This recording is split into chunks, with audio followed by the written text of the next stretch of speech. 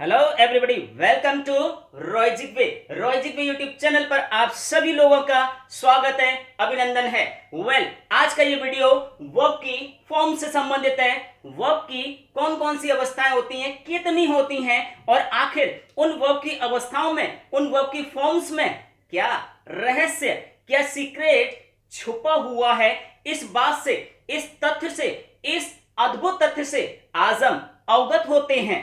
तो well dear students हम चाहते हैं कि आप वीडियो को अंत तक वॉच कीजिएगा, देखिएगा, ताकि आप इसे बेहतर समझ पाए। यकीन कीजिएगा कि यदि वर्ब्स की फॉर्म्स पर आपका कमांड हो गया, आपकी मास्टरी हो गई तो फिर आपके हाथ से निकलने नहीं वाली हैं। स्पॉटिंग एरर्स या कॉमन एरर्स या एरर डिटेक्शन को आप पलक झपकते ही चुटकियों में कर पाएँगे और अपने मन माफिक मार्क्स को अपनी झोली में डाल पाएँगे। वेल well, मैं हूँ आपका अपने English trainer h m Roy और आप तक ये वीडियो पहुँच रहा है रॉय जिक यूट्यूब चैनल के माध्यम से जिसके बारे में आपको पता है जिसने ठाना है कि सफलता तो आपको दिल वाना ही है। किसी भी कीमत किसी भी स्थिति में लेट्स स्टार्ट वीडियो को स्टार्ट करते हैं डियर स्टूडेंट्स वर्ब की फॉर्म से संबंधित है जिसे हम हिंदी में क्रिया रूप कहते हैं। अब समझिएगा कि यहाँ पर हम बात कर रहे हैं V1 का V2, V3, V4 जिसे हम आई अवस्था भी कहते हैं। और यहाँ पर वर्ब की बेस फॉर्म या ज़ीरो फॉर्म या न्यूट्रल फॉर्म का भी हम यूज़ कर सकते हैं कह सकते हैं।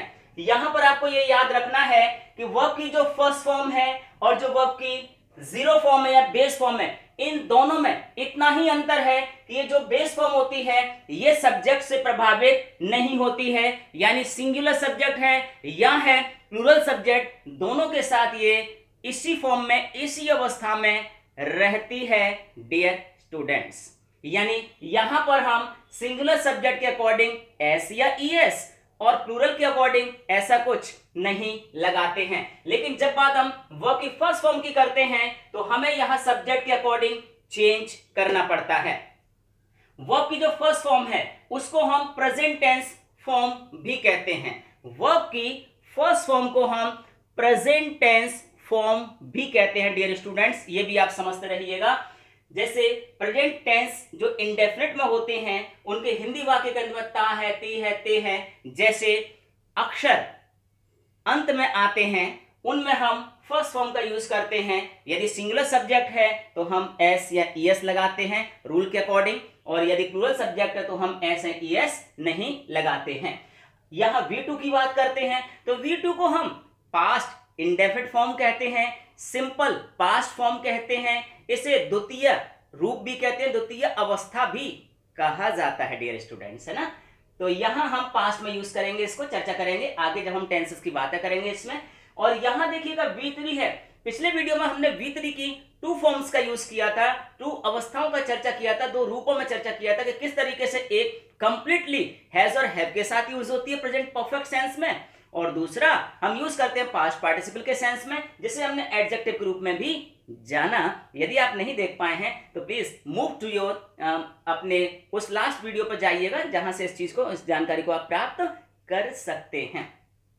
यहाँ हम बात कर रहे हैं वी फोर जिसे हम आई फॉर्म भी कहते हैं, और इसको हम प्रेजेंट पार्टिसिपल भी कहते हैं डियर स्टूडेंट्स ये भी समझिएगा प्रेजेंट पार्टिसिपल हो सकता है ये अभी आपको क्लियर ना हो, लेकिन इसे आप ऐसे समझ लीजिएगा कि जब हिंदी वाक्यों के अंत में रहा है, रही है, रहे हैं, या रहा था, रही थी, रहे थे, या फ्यूचर में रहा होगा, रही होगी का सेंस आएगा तो वर्ब की फ़र्स्ट फॉर्म में हम आई एन जी का यूज़ कर देते हैं। उसी अवस्था को हम बोलते हैं प्रेजेंट पार्टिसिपल फॉर्म उसी को कहते हैं।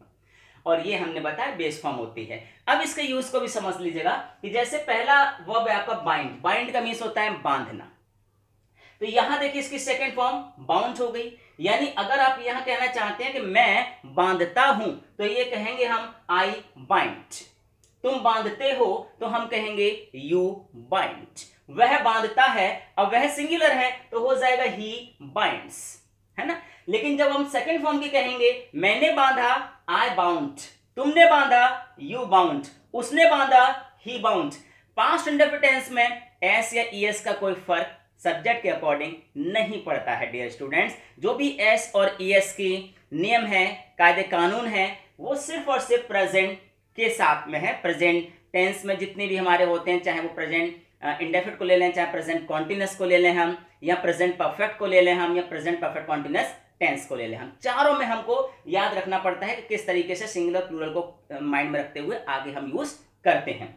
अब आगे देखिएगा बाउंस यहाँ पर आप क्या देख रहे हैं कि ये जो वर्ब्स हैं, जिन्हें हमने ब्लैक में दिया हुआ है, काले में दिया हुआ है, इनकी सेकंड और थर्ड फॉर्म सेकंड और थर्ड फॉर्म ध्यान रखिएगा सेकंड और थर्ड फॉर्म बिल्कुल एक जैसी हैं। यहाँ बाउंड यहाँ भी बाउंड यहाँ बेंच यहाँ भी बेंच यहाँ कॉट यहाँ भी कॉट यहाँ डग यहाँ भी डग यहाँ वॉन यहाँ भी वॉन तो जब ऐसी वर्ब्स हों, जिनकी सेकंड और थर्ड फॉर्म एक समान हो सेम हो, बिल्कुल एक जैसी हो तो डियर स्टूडेंट्स ऐसी वर्ब्स को हम बोलते हैं आर यानी रेगुलर वर्ब नियमित क्रियाएँ बोलते हैं इनको। क्योंकि आप देख रहे हैं सेकंड और थर्ड सेम है। तो ऐसी वर्ब्स को जिनकी सेकंड फॉर्म और थर्ड फॉर्म एक समान होती हैं, उनको रेगुलर वर्ब्स कहते हैं। जब इसकी हम बात करेंगे तो हम बात टीजीटी पीजीटी कर लेते हैं, या c TET UP TET s TET super TET junior जैसी परीक्षाओं की बात कर लेते हैं, उनमें डायरेक्ट पूछ लिया जाता है कि इनमें से कौन सी वर्ब रेगुलर वर्ब है। और समझ लीजिएगा कि जब ऐसा नहीं है, यानी सेकंड और थर्ड फॉर्म जब समान नहीं है तो फिर उसे कहेंगे आई आर यानी इरेग्युलर वर्ब इरेग्युलर यानी अनियमित क्रिया. कैसे? जैसे blow B L O W अब यहाँ पर देखिएगा, ये जो हमारा स्टेम वॉबिल है, यानी जो मुख्य वॉबिल है, उस वॉबिल को हमने यहाँ पर चेंज किया हुआ है डियर स्टूडेंट्स यहाँ पर जो ओ है है ना? और यहाँ पर जो ई है, ये हमने चेंज कर दिया है। और यहाँ पर फिर से देखिएगा, ओ आ गया है। यानी जब सेकंड और थर्ड फॉर्म अलग अलग हो, जब सेकंड और थर्ड फॉर्म अलग अलग हो, समान ना हो तो ऐसी अवस्था को हम बोलते हैं इरेग्युलर वर्ब्स यानी अनियमित क्रियाएँ। इनकी सेकंड और थर्ड फॉर्म अलग अलग होंगी। लेकिन ये जो हमारा वोबिल है इसमें, ये थर्ड वाली फॉर्म में रिपीट कर सकता है, उससे कोई प्रॉब्लम नहीं है हमको। है ना? इसी तरह देखिए ब्रेक है, तोड़ना ब्रोक हो जाएगा यानी ये जो हमारे पास ई e, ए थे इनको हमने ओ में चेंज कर दिया यानी जो इसका मुख्य वॉवेल था वो चेंज हो गया। यहाँ ओ आ गया और देखिए यहाँ पर ब्रोकन ये बने हुए हैं लेकिन इससे हमने चेंज किया हुआ है सेकेंड और थर्ड फॉर्म अलग अलग हो जाते हैं। इसलिए हम इनको क्या कहेंगे? इरेग्युलर वर्ब कहेंगे इरेग्युलर फॉर्म कहेंगे हम इसको।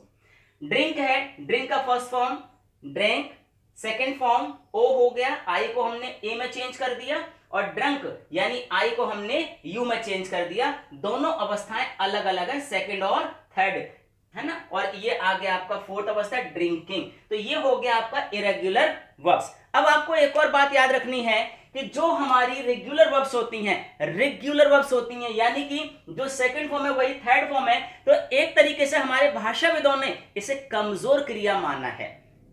क्योंकि ये अपने मूल वोबिल को चेंज नहीं कर रही हैं, स्टेम वोबिल को चेंज नहीं कर रही हैं, इसलिए इनको कमज़ोर क्रिया यानी वीक वब भी कहते हैं इनको। तो जो वीक वब है, वही रेगुलर वब है, और जो इरेगुलर वब है, वही स्ट्रॉन्ग वर्ब कहलाती है डियर स्टूडेंट्स तो कभी कभी ये जितनी भी टीचिंग से संबंधित एग्ज़ाम्स हैं, उनमें डायरेक्ट पूछ लिया जाता है कि इनमें वीक फॉर्म कौन सी है या इनमें स्ट्रॉन्ग वर्ब कौन सी है। तो ये पहचानना आपको इस वीडियो को देखने के पश्चात आ जाना चाहिए कि जो रेगुलर हैं, वही वीक फॉर्म है और जो इरेग्युलर हैं, वही स्ट्रॉन्ग फॉर्म होती हैं डियर स्टूडेंट्स तो ये बात आपको स्पष्ट हो जानी चाहिए। अब जैसे मैं बाँध रहा हूँ तो आई एम बाइंडिंग है ना? वह बाँध रहा है ही इज़ बाइंडिंग वह मोड़ रहा है ही इज़ बेंडिंग मैं पकड़ रहा हूँ आई एम कैचिंग वह खोद रहा है ही इज़ डिगिंग अब यहाँ देखिएगा डिग में जी सिंगल है, लेकिन यहाँ पर हमने जबल किया हुआ है। ये जब हम स्पेलिंग से संबंधित समस्याओं की बात करेंगे स्पेलिंग बिल्डिंग की बात करेंगे कि कैसे हम किसी वर्ड की स्पेलिंग को समझ सकें, क्योंकि एग्ज़ाम में स्पेलिंग एरर से संबंधित भी क्वेश्चंस अपियर होते हैं। तो इससे संबंधित एक कंप्लीट अध्याय कंप्लीट चैप्टर जो कई वीडियो को शामिल किया हुआ होगा, हम आपके लिए प्रेजेंट ज़रूर करेंगे डियर स्टूडेंट देखते रहिएगा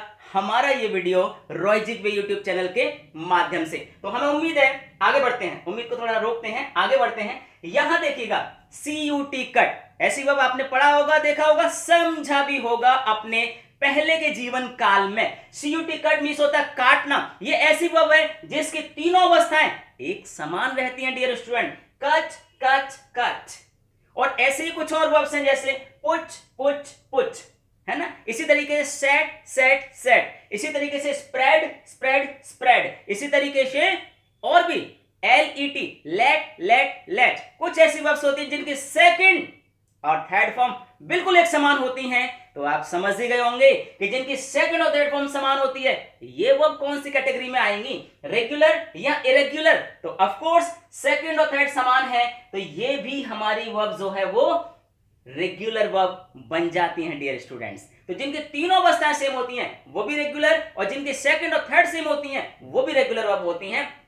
तो ये था वीडियो आज का डियर स्टूडेंट्स उम्मीद है हमें, हमारा ये प्रयास छोटी सी कोशिश आपको पसंद आएगी. लेकिन हमें इतना यकीन है, हम completely sure about this one completely confident that ये हमारी छोटी सी कोशिश आपके जीवन में, आपकी ज़िंदगी में, आपके फ्यूचर में बहुत सारे रंग भरने के काम आएगी। बहुत सारे कलर्स को आपकी भविष्य में जोड़ने में काफ़ी हेल्प कर सकता है। हमें उम्मीद है ऐसा। तो वेल डियर स्टूडेंट्स आज के इस वीडियो में इतना ही। एक और वीडियो बेमिसाल धमाकेदार लेकर के हम बहुत जल्दी आपके पास उपस्थित होंगे। जाइएगा नहीं, तब तक क्योंकि पढ़ते रहिएगा और अपने भविष्य को आगे बढ़ाते रहिएगा। तो वेल डियर स्टूडेंट्स यदि आप हमारे इस वीडियो के लिए नए हैं, पहली पहली बार पदार्पण कर रहे हैं तो वीडियो को प्लीज़ लाइक कर दीजिएगा। लाइक करने के साथ साथ सब्सक्राइब कीजिएगा। सब्सक्राइब करने के साथ एक बेल आइकन पर उस घंटी को भी बजा दीजिए ताकि हमारे द्वारा भेजे गए सारे वीडियोस नोटिफिकेशन आपके दहलीज पर बिना किसी बाधा के पहुँचते रहे और आपकी तकदीर के निर्माण में मुख्य भूमिका निभाते रहें। तो well thank you for watching this video जय हिंद जय भारत।